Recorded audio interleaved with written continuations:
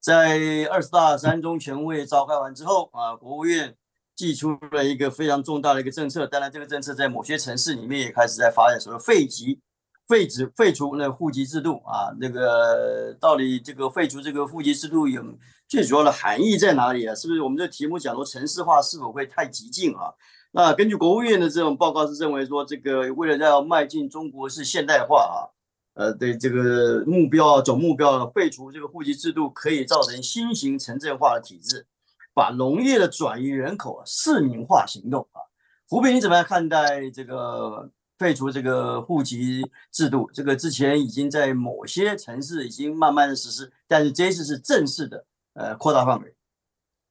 呃，废除户籍制度这一条。其实早在这个几乎二十年前，中委就就就已经提出来了。嗯，呃，应该说所谓户籍制度，尤其是这个城乡户口二元制，那可以说说是中共呃，就是毛时代一个最大的罪恶之一。呃，那我们是那个时代的过来人呢，所以对这种那种制度的呃那个弊病，那是感觉非常深刻啊。那记得五十年代初期的时候。那我们你看，像我们家就是从北京就迁移到成都了，呃，那个时候呢，早先呃，还有迁移的这种自由，迁徙的自由，啊，那农村人呢，也有人就也就进了城了，嗯，对。可是到了五八年之后呢，情况就到了后来情况发生完全不一样。那当然就是第一就是所谓城乡户口，那是这个壁垒森严，就就农村人。永远没法改变成这个城市户口，嗯嗯，那多少？呃，至于城市的人口呢？你因为你的户口，呃，你的户籍定哪个哪个地方，你也不能自自由的变动。在那个时候就出现很可笑的现象啊，像我们那代人都感觉很清楚的，哪怕你都是国家干部了，大学生了，毕业了，成国家干部了，结了婚了啊，如果你们是在两地工作。那是叫夫妻就分居，居然就有这种情况，夫妻分居。像我们考外大时候，我们好几个同学就是为了解决夫妻分居，才愣要考个学校的。嗯，两口子都是国家干部，结果一个在在南，一个在北，一年只有一个月的探亲假，就可以荒唐到到这个地步啊！那到后来呢，但偶尔有点松动，有时候他们人们就自己想办法了，是吧？就在电线杆子贴个条子。哎，说我，比如说我是上海的，我想换，呃，换到重庆，呃，他当然他必须得找一个，呃，比他那个那个地方比他差的，因为别人才可能愿意换吧，对吧？啊，呃，然后那边也也许就有一个人，哎，他说我是重庆的，我想我愿意换到上海，他们俩再商量好，然后再各自和自己的单位说好，呃，单位有时候也有时候也就答应了，这样子就换成了，呃，那就是整个户这个户籍人数不变啊。但是一个钉一一个萝卜一个坑，但是呢，呃，中间人换了，就，那么所以到了后来这个，呃，自从改革开放之后呢，当然这方面也发生了很大的变化，呃，那城里人不用说了，城里尤其是大量这个呃这个迁移的，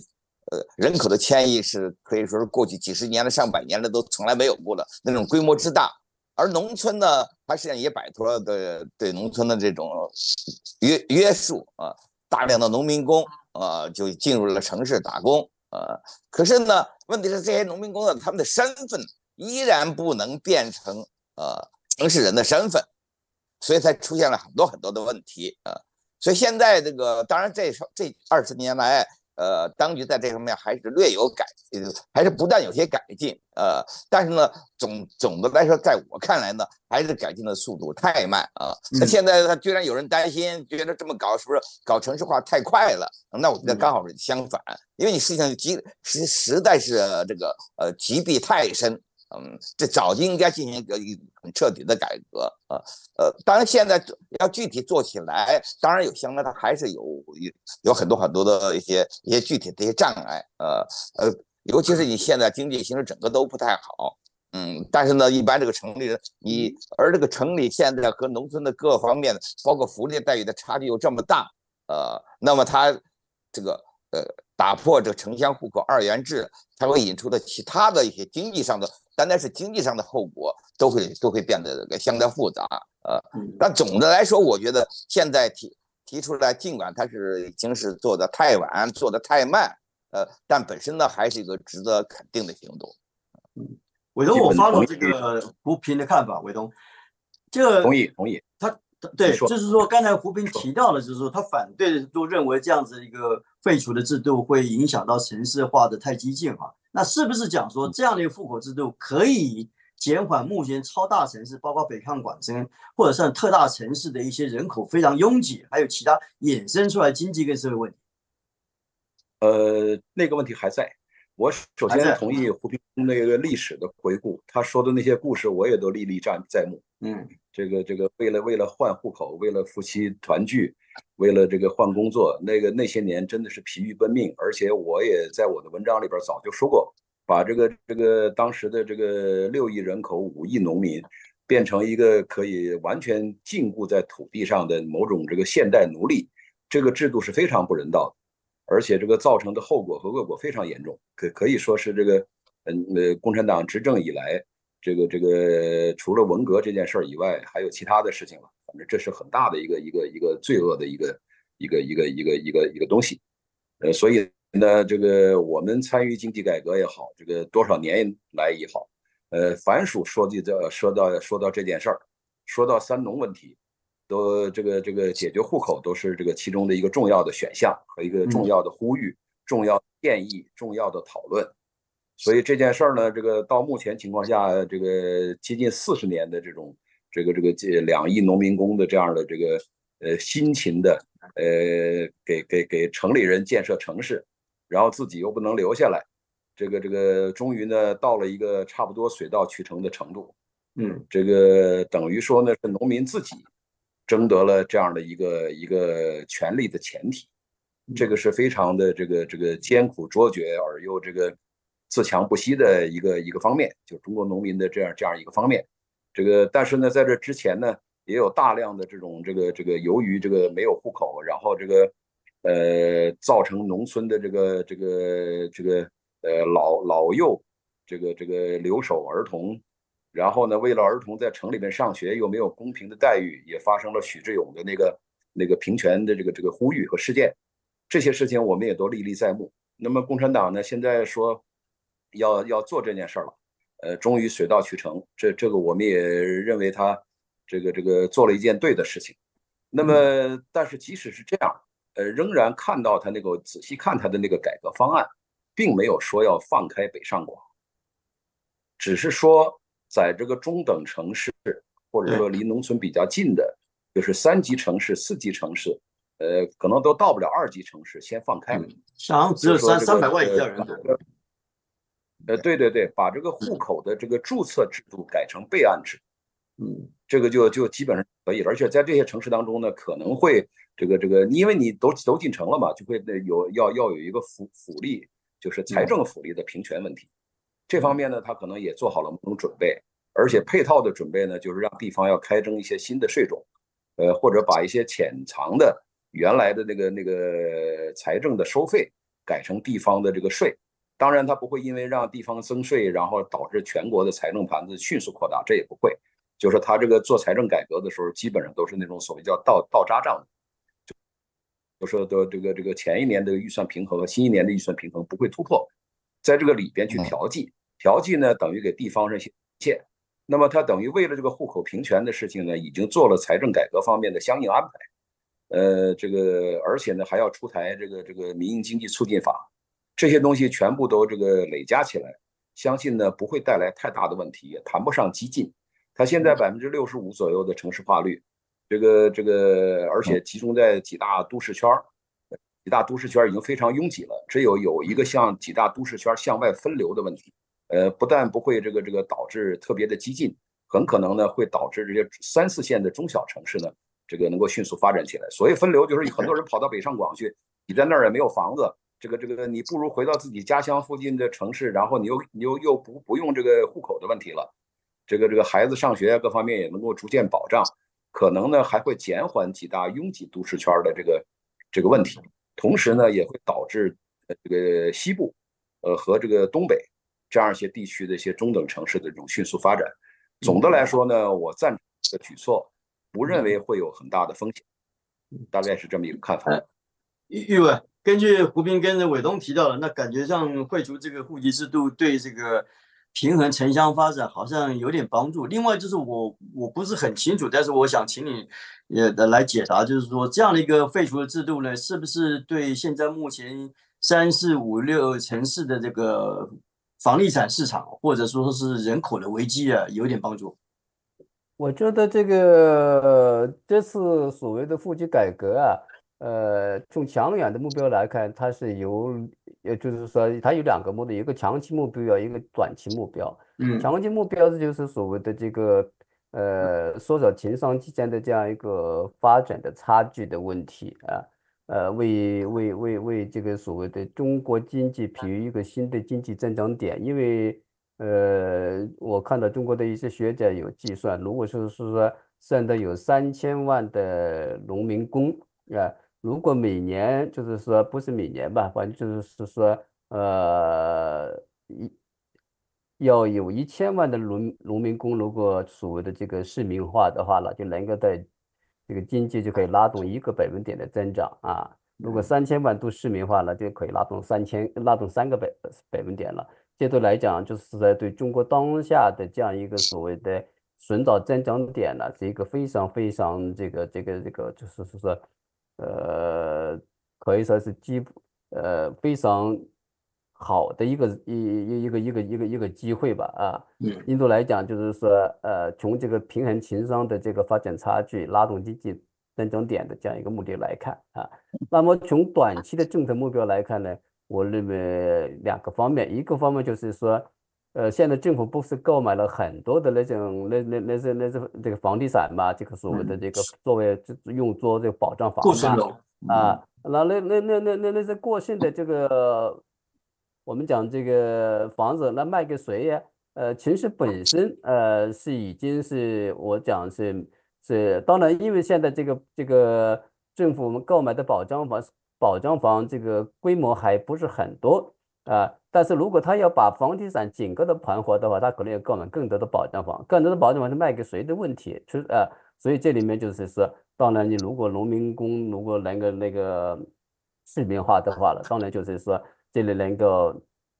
这个这个这个对我们讲对销售这个消化这样一些保障房是有很大的好处。另外，你如果消化这些保障房，你就可以土地可以就盘活出来。那些土地就可以用于其他的这样一些目的，所以我讲短期的政策目标是这个啊啊，既有长期的政策目标，也有短期的政策目标。但是关键现在的问题就是它能否达成？因为我们知道，呃，今天的这样一个农民的就是虽然说是我们讲这个呃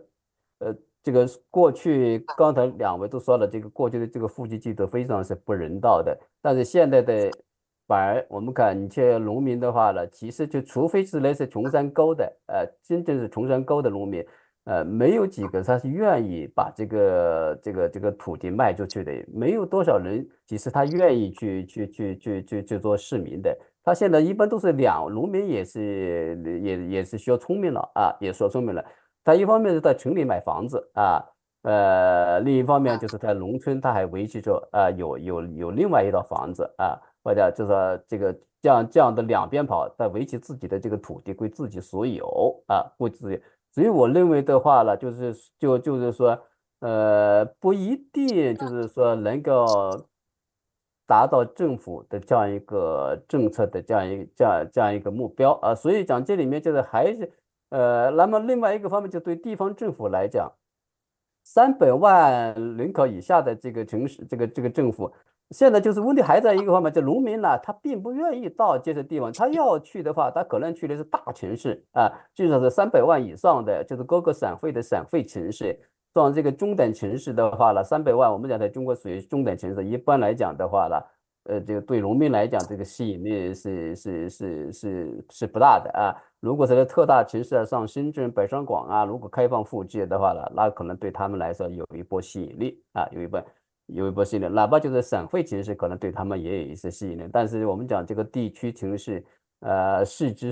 市这样这个这个这个这样一个层级的，可能对他们来讲不是吸引力不强。他们来讲，一般来讲可能会在这个地方买一套房，呃，那么老家有一套房。我像我们这个我们村里面都是这样的，呃，这个在城市里面都，呃，小孩呀都在城市里面买房，然后然后。在家里面这个还有一套房，而，这而且这个家里的那套房也还是很不错的，也还不错的。要他放弃这个土地，我觉得是不太可能的。所以，所以，所以从从这个角度来讲的话，这一轮的这个户籍改革，它的效果、成效、成效会有多大？我们当然还要去从它具体的实施来改。另外，从这个城市本身，这个就是希希腊人口的这个呃这个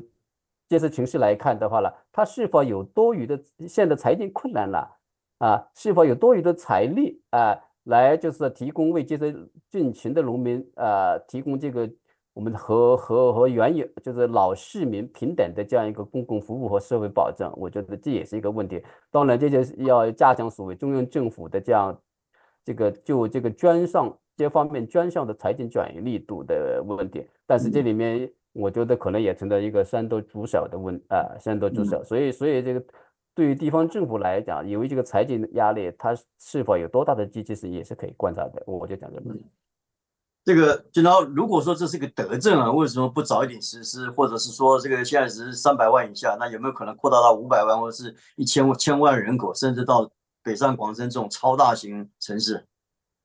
那我觉得，实际这个呃，这个德政根本谈不上吧。我觉得，其实共产党决策很少从什么德政角度出发，那更多的从政治安全和效率、经济发展效率出发。在邓时期，经济效率发展呢放在前面；现在习时期呢，又把安全、政治安全提到了比较大的高度。比如搞什么枫桥经验啊等等这些，在邓时期都不用谈了。但是我觉得这里户城市化规律呢，其实我觉得户籍制度废除恰恰是适应城市化规律。因为中国那个户籍制度当时搞的时候，就是在很大程度上其实就是反人口迁徙，而城市化的规律就适应经济发展规律。特别城市大都市化呢，这是随着这个产业，我们都知道经济发展到一定程度工业化，工业化之后实际上就开始城市就开始相相对寄居，但是到了。经济进入富裕社会，实际上就服务业占百分之七十以上，而服务业这种发展是跟人口的这种密集是有很大关系的，跟都市化有很大关系。如果这个问题不解决，这个服务业的发展呢就没法儿，这个三产就没法儿成为经济发展中比较这个这就是这个百分之七十达不到这样一个标准。而我们中国事实上现在这个都市化已经很厉害了，比如像京上广深，你搞不搞，你废不废户籍制度，事实上都在这里存在，但是这种管理非常混乱。我觉得，其实在这从这个角度来说，这个废除户籍制度并不是要影响都市化，大家是适应都市化，那么而且还能够促成这个都市化，使都市化发展更健康。那我们再看户籍制度，我认为早该废除，因为当年建户籍制度是两个考虑，最初的考虑是从动员资源的角度考虑，因为为了搞提取，就中国要搞重工业，那么这时候靠市场是不行的，简单的计划经济也不行，所以就搞了这个工农业发。工工农村和工业这种剪刀差，你搞出剪刀差，当然没人愿意在农村待，所以搞了户籍制度，把农民绑在那种地方中，把它管着，然后用这个工农产品剪刀差来提取资源去搞重工业。那么第二个呢，就是这个安全考虑。实际上，在这个大饥荒之后呢，中国几饿死几千万人，同时呢，大量的这种人出去流民出现，为了对他们进行管理，就强化这种这个户籍制管理。那么在这之前，说这个其实还没有那么严格。刚胡平生也说了，其实就是从提取这个资源来说呢，也没那么严格。至少就是说，呃，不占用资源的这一块呢，还是有相对的自由度。但是呢，这个我觉得现在从这两条说上都没必要了。那么首先呢，在中国搞了市场化改革之后呢。这个其实政府已经通已经熟悉了通过市场化的方式，在现代的政府管理的方式来提取这种资源，实际上就对就通靠工农产品的剪刀差这一点越来越不需要，而且甚至把这个农业税都给废除了。现在开始在农村建立低保啊等等这些，其实开始政府开始相相对农村进行补贴、扶贫补贴等等。所以从这个角度来说呢，这个提取资源这个没有了。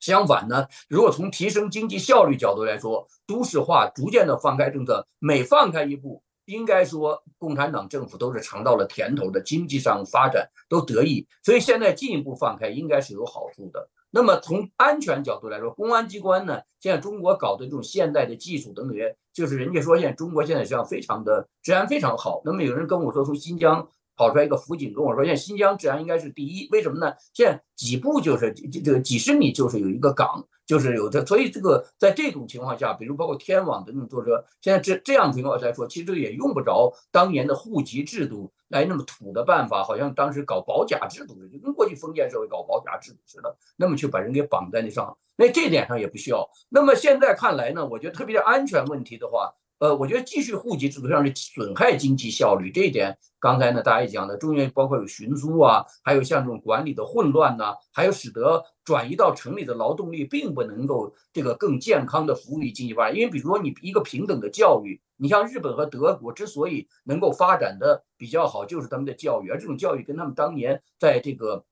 现代化的早期就开始普及教育有很大的关系，跟英美就不一样在这方面。那么他们后来在发发展中，在现代化中一直有后续的持续力，就是跟他们劳动力这种这个素质有关。而这个劳动力的素质，就是在是在某种上是跟他们没有这种户籍制度、废除户籍制度呢，这个搞这种一视同仁的这种平民教育和普通教育有关系。所以我觉得，在提升经济效率，无论从劳动力来说，还是从筹集资源来说，这样废除户籍制度在经济效率上对共产党治理更好一点。那么还有一个从安全角度来说也是这样的，因为这个长期要是有一个流民群体存在于城市中间的话，实际上是对于将来政治上也有危害的，有动乱坏。所以习近平在讲底线思维时候，当时蔡奇就砍了一刀，把三十万当时的，当然这个数字我们都可以推敲了，而且这个东西，但是。把这些人呢，就其实就是看作是一些有危害的这个群体，不好这个没法管理群体，给他弄出北京去。像这样的一些举措，就说明呢，他们现在已经对这种很在意。如果废除户籍制度呢，